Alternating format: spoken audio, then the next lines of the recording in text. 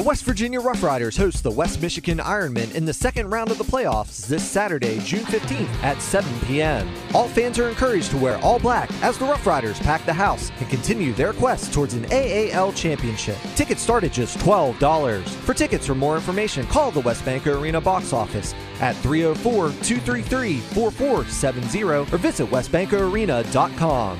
The West Virginia Roughriders Ride with us.